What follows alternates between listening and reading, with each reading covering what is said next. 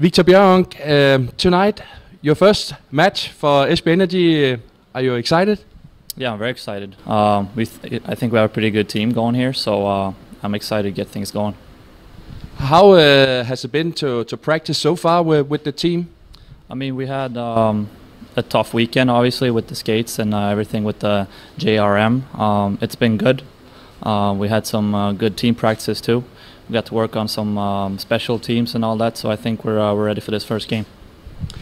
And you know the league uh, for last year in in, in Hvidovre. Um, why is uh, this league uh, attractive for you?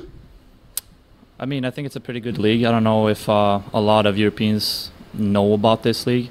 Uh, I think they underestimate this league a lot. Um, I didn't know too much about this league going in last year. Uh, I was uh, happily surprised it was better than I actually thought. Um, so, for me coming back uh, and joining Esbjerg was a no-brainer for me. And uh, what about uh, tonight? Of course, it's a, a practice game, but uh, you guys still have it uh, inside to, to win this game.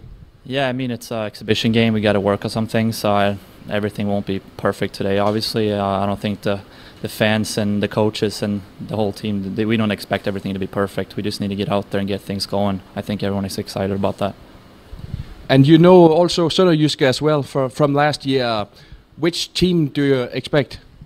I mean, they're a hard-working team. Obviously, I think they have a new coach. Um, I have a couple of friends on that team, and I know they've been working hard in the preseason. So, but we have too, so we're ready. And you looking forward to tonight? Yeah, I'm, I'm excited. We'll see. It'll be fun.